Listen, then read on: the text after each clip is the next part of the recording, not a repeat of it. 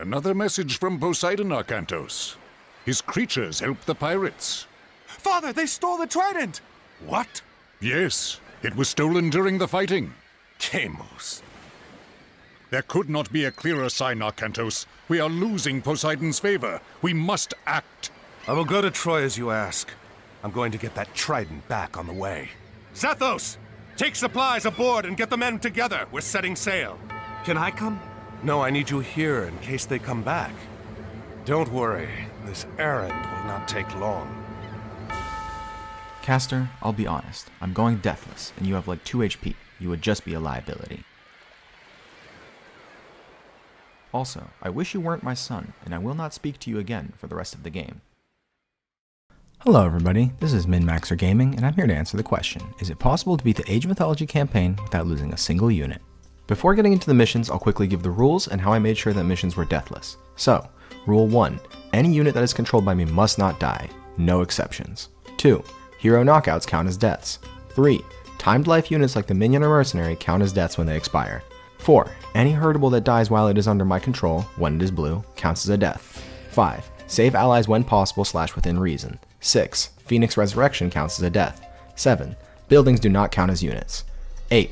The run will be completed on hard difficulty. I'll talk about Titan difficulty a bit at the end of the run. There's a chance you might be asking, how do you truly know a mission is deathless when there isn't a score screen at the end like in StarCraft? The primary answer to that is, after I've recorded any of the 32 missions deathless, I will then go back and rewatch the entire footage and simply look if the population meter ever decreases seeing as every unit I use costs population. That way, if there are any off-screen deaths or a very well hidden death in a particularly chaotic fight, I will immediately know and revisit the mission. As far as tracking it while I'm playing, I will almost always have my armies at a specific size with specific numbers of units that I keep track of. Age of Mythology, unlike some older RTS games, does not have a selection cap. And AOM shows you the exact amount of units in a group which I can use to keep track, and I usually don't continuously reinforce my armies once I attack. Campaign hero deaths are also very easy to track because you get a crystal clear audio notification telling you, A hero has fallen. If you have any serious doubts, I will also be uploading the full completion of each mission, so you can review any sketchy moments in full. With all of that out of the way, let's begin our journey. We start with the tutorial mission Omens. The objective of Omens is to survive pirate attack waves until reinforcements arrive. Having dodged the instant kill special of the enemy Kraken myth unit, doing the rest of the mission deathless isn't difficult. Though I could do this mission deathless with other strats, I decide to play it extra safe and wall off all the landing points and build towers which have an insane anti-ship multiplier, I give them the Crenellations upgrade to easily snipe the ships as they move, and I usually sink them before they can even try to land and drop off. I hold out with ease until the reinforcement army arrives, which is completely unneeded seeing as the pirates can't even land. During the final pirate push, I use restoration along with repairing villagers to keep my docks safe from the krakens, and I get a smooth, deathless win.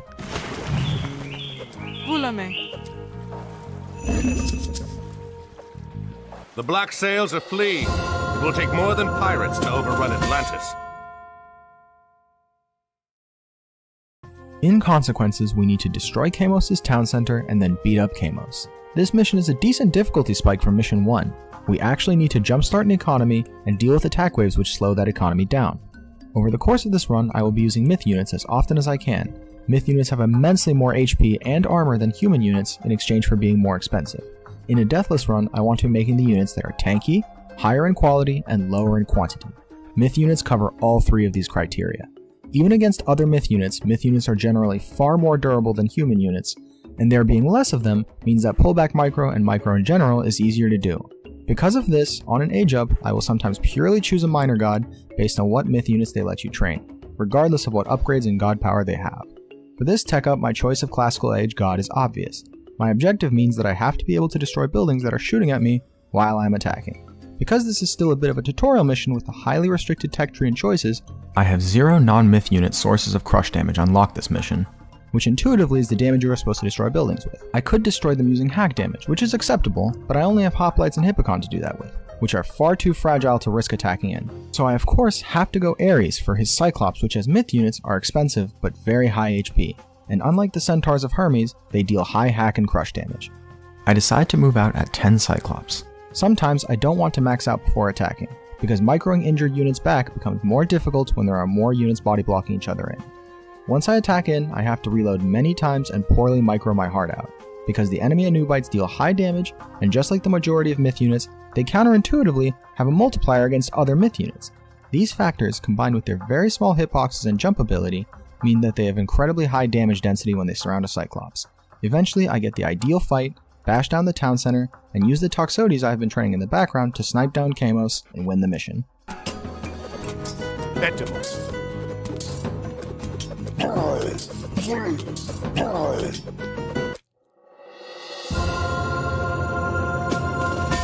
Scratching the surface, I need to destroy two Trojan docks. Almost immediately upon starting the mission, we run into a problem. In a scripted event, a bunch of allied ships get wrecked by these guys, and I have basically nothing to stop it with, seeing as it happens almost right at the beginning. I have to start thinking outside the box. I notice that the ships don't attack after a timer or anything like that, but instead only when I actually build the town center that the game tells me to, and the villagers I have are still allowed to build resource drop-off points, so I actually have infinite prep time and theoretically infinite prep money. However, the problem is, is that I start in the Archaic Age, which means I literally cannot build any combat units, seeing as I need a town center to advance the Classical Age where I can build any offensive boats. With all of this noted, I set my plan into action. I gather up a hearty amount of each resource with my starting villagers, I throw down a boatload of docks around where my allied boats are, and I get my four starting Toxotes into position. I build the starting town center, mash the classical age button, and as I was hoping, the docks serve as excellent bait, pulling the aggro from many of the siege ships. Now my four Toxotes in the allied trireme have to beat a heavy siege ship which hard counters them. I need to attack the ship with my Toxotes immediately, basically the instant appears, because otherwise it aggroes onto the allied trireme which would melt under its fire. Then I need to pull back hurt Toxotes and whittle down the ship until it dies. As this is happening, Classical Age pops and I immediately use Hermes' Ceasefire God Power. During this, I crank out a bunch of triremes from my mass docks and go heroic with Dionysus. Unfortunately, it is essentially impossible to save both allied ships, so I settled for saving Ajax's ship. Two Toxotes is simply not enough to beat a heavy siege ship. Luckily, these ships don't belong to me, so it's not a run killer. I only have to save allies within reason. I can't directly control the actions of my allies, so I'm not responsible for saving every single one. Once the ceasefire ends, my triremes kill off the enemy ships, I wait for heroic, and I smash the docks with Scylla, which as water myth units have no real counter.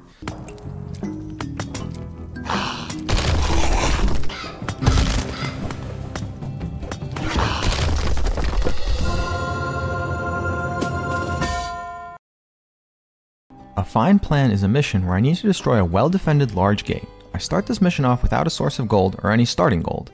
The mission is designed to give you different options for gold, such as using a transport ship to claim a gold mine on a small island, but I opt to just load up my starting Helepolis siege tower with hoplites and attack the nearby enemy gold mine. Once I secure that gold, I use my Helepolis to single-handedly take down a stray enemy town center, which I will eventually take over and use to mine even more gold. The Helepolis has insane pierce defense and very high HP, so I can actually leave it AFK while I do other things. The first attack wave comes for me, and I have essentially nothing except for my starting heroes and 6 Hippikon, but I can kite the attack wave into fighting under my high pierce damage town center, which helps just enough for everything to barely live. After dealing with the attack wave, I'm going to tech into the heroic age. For my god of choice, I am of course going to go for Apollo. Apollo is an example of the perfect deathless god. His god power, myth unit, and upgrades are all very desirable for a deathless run. His Temple of Healing upgrade makes my temples act as healing fountains, which is insanely important to me. It is the only real source of healing that Greeks get at all, and it means that when a unit of mine gets beat up, I do not have to permanently take it out of commission and hide it. I take the town center I had previously conquered along with its gold mine and I start building up my army, which is going to consist of Apollo's Manticores and Athena's Minotaurs. Minotaurs are just standard bulky bruiser myth units, and Manticores have a ranged AoE quill spray attack that is perfect against the dense clumps of small human units that I am fighting. For the Mythic Age, I tech up through Hera for the Monstrous Rage upgrade, which makes all my myth units deal 25% more damage across the board. This will be amazing for my myth unit only army. At some point, Troy hits me with an attack wave using the Bronze God Power, which gives a large armor buff to human units. But at this point, my army is almost fully online, so thwarting it deathless is no problem. As I get closer to maxing out, I build a healing station of three temples in the middle of the map. When I'm happy with my army, I start moving out to the Trojan gate I need to destroy. When I move in and start attacking, Troy drops a ceasefire, I use the time to cast Apollo's Underworld Passage to create a portal to my healing station, and I use it to bring myself the Bellerophon hero, whose jump ability will help me snipe enemy catapults and nearly insta-kill enemy myth units. Once ceasefire ends, I take an excellent fight, with my Minotaurs getting nice surface area, and my Manticores shooting uninterrupted and Bellerophon getting nice leaps. I use my Restoration and Lightning Storm so I can push through the gate directly without needing to heal any of my forces up so that Troy doesn't get a chance to rebuild the defenders. My Lightning Storm blocks Troy from using the one they use when the gate gets damaged, I bash the gate, and I win. It's magic.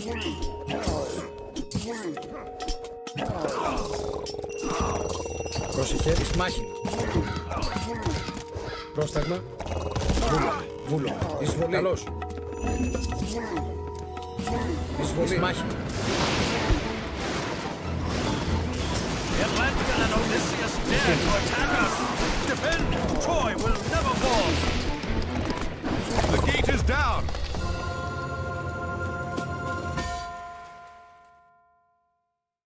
Just Enough Rope is a standard wipe out the enemy mission, but it starts with another allies are supposed to die bit. Only this time it happens immediately, and once again it is physically impossible to save all allies. My god powers don't work on them. I tried. I could go crazy trying to see how many allies I can save here, but I'm going to save my energy for allied segments that are less RNG heavy and BS, so I only focus on making sure that none of my blue troops die. Once that's finished, I grab Ajax and we go to our starting base. I save a villager from ruining his vegan diet, corral my pigs, and start on my economy. My base is chock full of pigs that I can't use due to my herdable rule, so my economy is gonna have a slow start. This mission is just kinda brutal. The attack waves are terrifying and frequent, it's balanced around me having a bunch of food I can't use, and it pre-starts me with Dionysus as my heroic age god, which really screws me over because I have no way to heal the majority of my units. You may have noticed me trying my best to use my campaign heroes like Arkantos to tank the enemy attack waves. This is because the special campaign heroes like Ajax, Odysseus, Arkantos, and the others all have passive health regeneration. So no matter what, if they survive a fight, they will eventually heal to full without me having to do anything. Unlike most of the units from Warcraft 3 or the Zerg from StarCraft, almost every unit in AOM has zero regeneration, and needs to be healed by something special like a god power, special upgrade, or special unit. Even the viable heroes that the Greeks have, like Hippolyta or Bellerophon, don't have regen only the special campaign heroes. After dealing with the first attack wave, I send my injured Hippikon from the first fight to Hippikon Heaven, and I begin upgrading my towers. My game plan is to get a strong tower and wall setup, seeing as towers and walls are durable and can actually be healed through repair. Defending using an army without healing is by definition not scalable for the long term. I eventually decide to actually send all my Hippikon to safety, because even though my heavy hoplites aren't as fast, they can be garrisoned, so it's far easier to save low health ones. I need to survive until the Mythic Age, because in the Mythic Age I'll tech up into Hephaestus. His myth unit is the Colossus, sporting an absolutely ridiculous 1000 HP, high armor, 50 crush damage, a hidden 20 hack damage, and the ability to eat trees or gold mines to heal itself, making it the only healable unit I have except for Arkantos and Ajax. The Colossus is also one of the very few myth units that gets two specific upgrades, and they're tankiness upgrades, exactly what I need. Upgrading into Silver Colossus adds 200 HP, and upgrading into Gold Colossus brings the hack armor to 60% and adds another 200 HP for 1,400 total HP, making the Gold Colossus the tankiest trainable unit in the game, bar none. This unit is truly a Deathless Runner's best friend. Once my economy hits a solid footing, I wall off my entire base. I decide to make squishy Toxotes as the DPS to support my Colossi. Eventually, I can start using my Colossi to help defend attack waves, which are increasing in intensity and starting to bring in siege weapons. Once I feel ready, I begin setting my late game plan in motion. I intended to crawl forward with walls, park my massive Toxotes behind proxied walls, and then use my Colossi to clear the way up ahead for me to plant a further ahead wall. In reality, it doesn't quite turn out that way. The Colossus do the majority of the work, and wall crawling is more awkward and difficult than I expected, so I stop wall crawling when I get closer to the enemy base. The Toxotes are actually most useful for sniping the enemy goats. I need to kill them before they become my responsibility. You might call this approach bloodthirsty, but those red colored bastards would slit my throat and butcher me if they had the chance. I use Restoration and then Bronze to ensure my units survive, and I smash through the base and get my deathless win.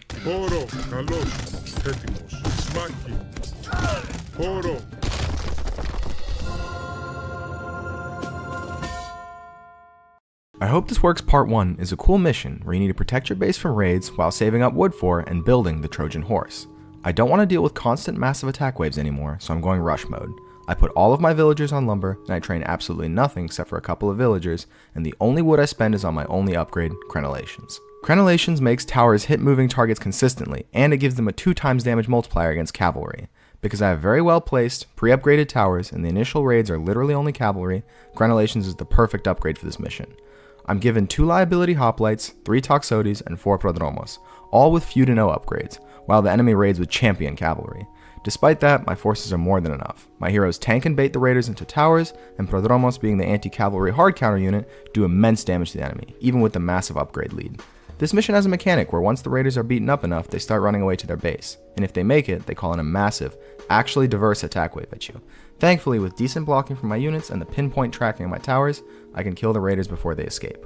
Once I hit a thousand wood, I transfer all my villagers to work on the Trojan horse, and I'll garrison them if raiders start attacking them.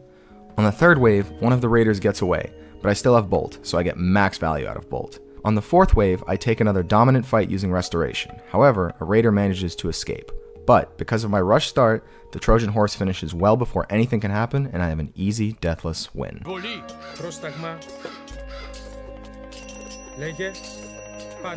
Orsos, Do not let the scouts return to Troy, or we will be attacked. Esto, malista. Ne.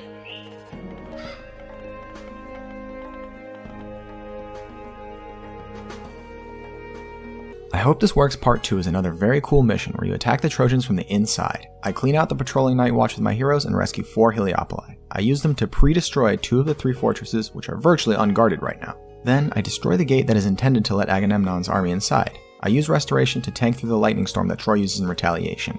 Agamemnon's army is really badass. It's a shame I'm not going to use it. Because instead, I'm going to call in the Hammer of Dawn from high orbit.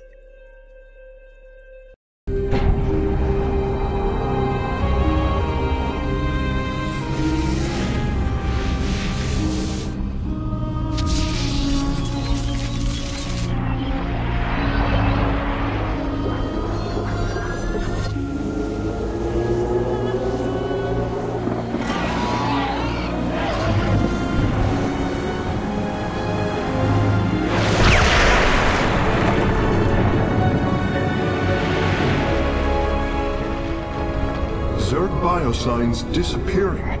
The surface of Endion has been cleansed of life. It is over. Whoopsie daisies, wrong game.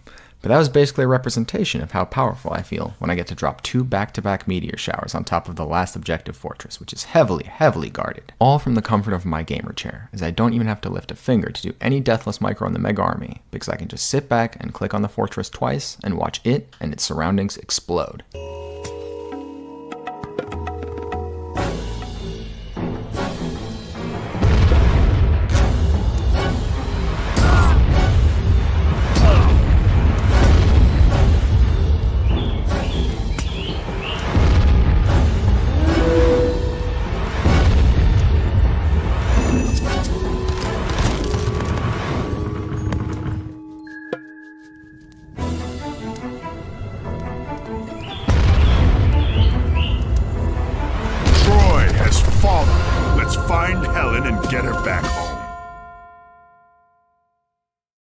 More Bandits is a no build mission where you push through the bandit captured town of Iaclos to rescue Chiron and allied militia groups. I've already let allies die in the past. What kind of a deathless runner am I? Maybe I'll never be able to save all allies.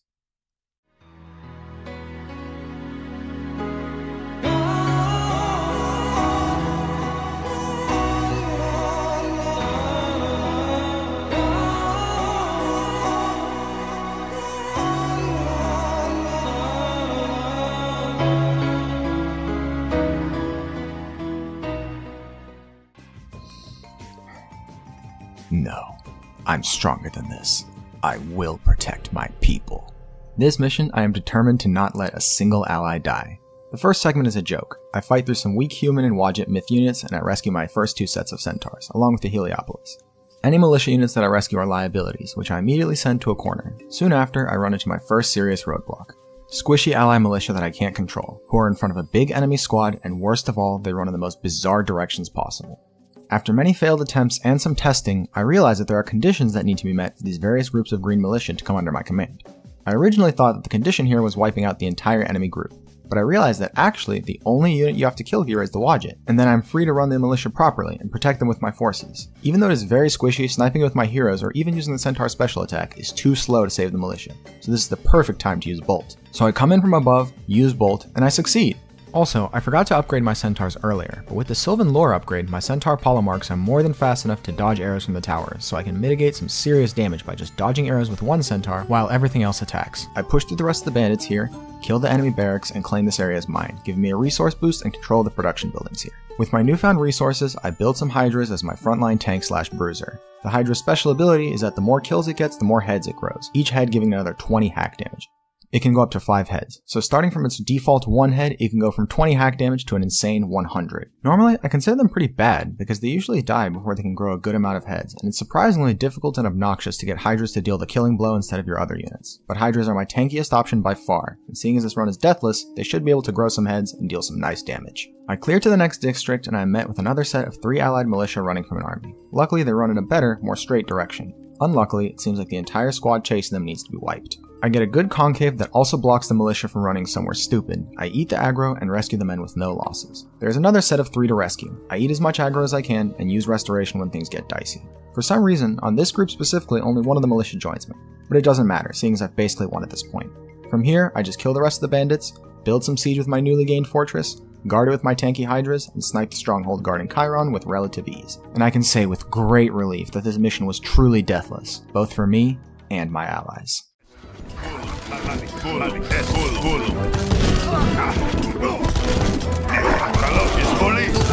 Our. I have awaited your arrival.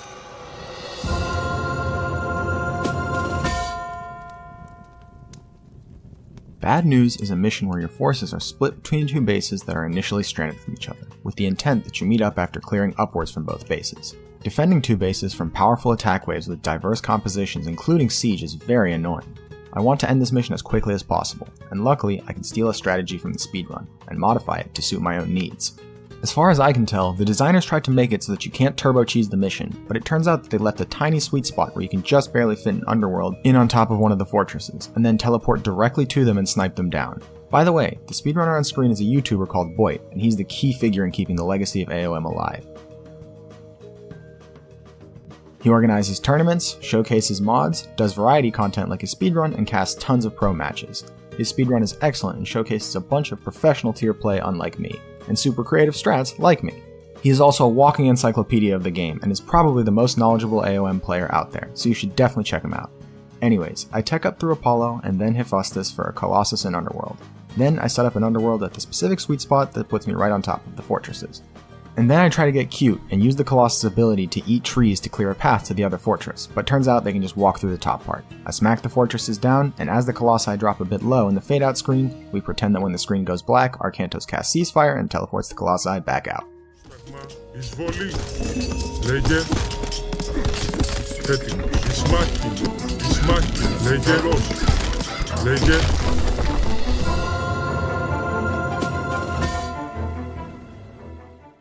Revelation is a tough, no build mission where you quickly push through to a ram and then bash away at it while simultaneously defending yourself against enemy waves coming from multiple directions. My first order of business is doing the optional objectives. I need to close off two of the reinforcement paths as fast as I can.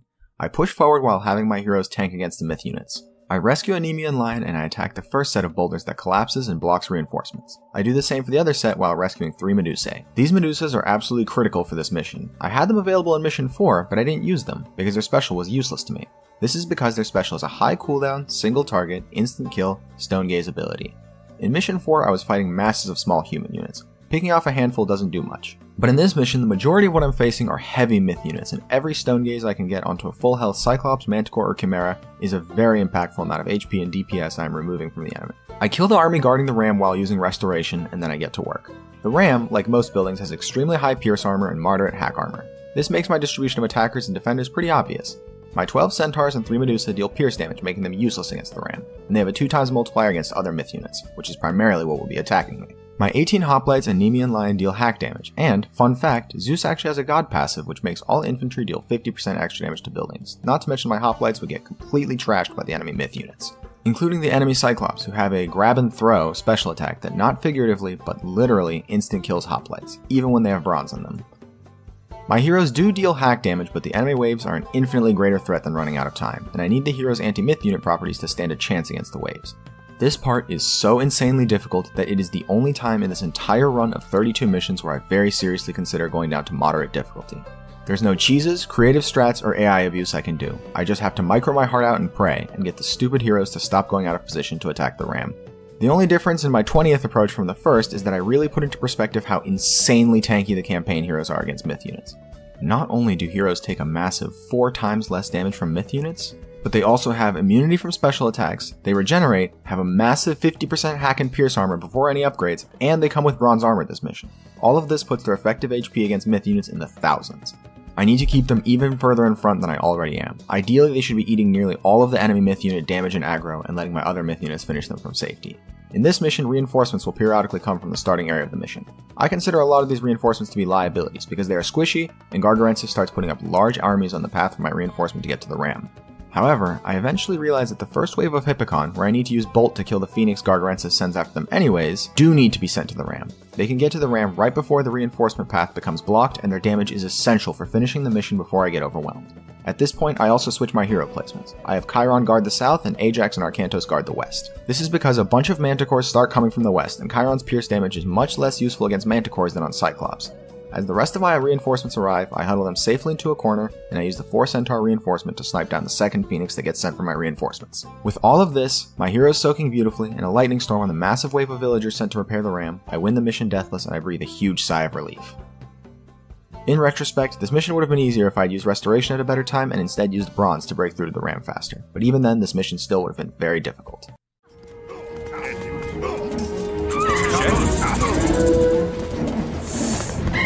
catching Edibles. Léger. Ne. Ne. Mal.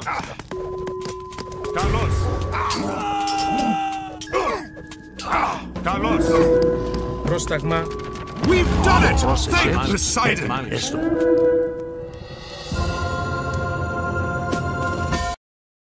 Strangers is a no-build mission where you navigate a labyrinth peppered with enemy myth units. You are given special invisible Hades shades which can self-destruct to one-hit kill any enemy unit. This is a deathless run, so I use them to walk forward and give me vision instead.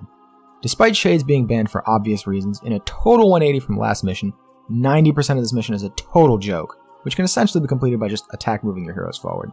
There would be nothing else to say, but the goddamn Kraken from Mission 1 have come back for revenge, with an instant kill special, 800 health, and being faster than the boats I need to use to cross the Styx. Thankfully, I can bolt the first one, but I still just keep getting chased down and eaten.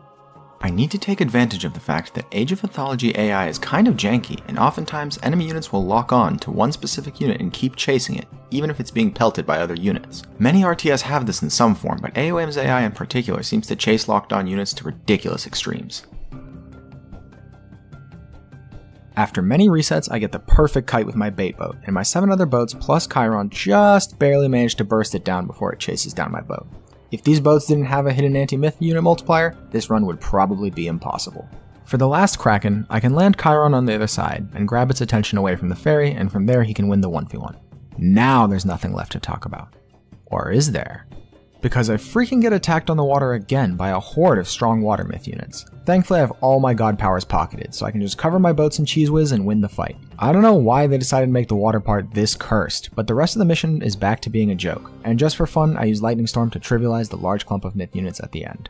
In later videos, I will do dedicated thank yous and mentions of people that inspired me or helped me, but I'd be remiss to not mention Giant Grant Games in this first video. There are definitely some stylistic resemblances to his videos, and he's definitely my number one inspiration for making this. I feel like most RTS gamers have heard of him, but just in case you haven't, you're missing out. He does insane challenge runs, discusses RTS concepts, and is a vital part of creating the new generation RTS, Zero Space. He primarily does StarCraft 2 content, but he also does stuff with a huge variety of games, including Warcraft 3, StarCraft 1, and even Pokemon at one point. Thank you so much for joining me on this adventure. I have all the footage ready for the Egyptian and Norse campaigns, I just need to edit it, so stay tuned for parts 2 and 3. I have a bunch of wacky strategies I've yet to show you and I can't wait. I'm sorry about the lack of polish, this is my first video as you can probably tell, but I hope it was entertaining nonetheless. I've learned a bit from my mistakes, so the next video should be an improvement. In particular, I'll try to drastically improve my audio. If you have editing tips, especially involving audio, or any other thoughts, comment them down below. Thanks for watching. Our task is complete. The lost relics are returned.